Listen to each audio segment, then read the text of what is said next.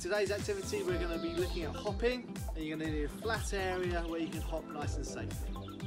So to start with you're going to bend one leg and with the other leg you're going to take off and land on the same foot. If you need something to hold on to you can hold on to the wall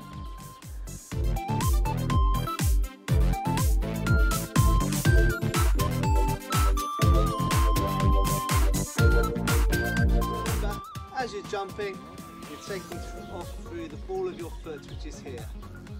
Try 10 hops on each side, see how you go.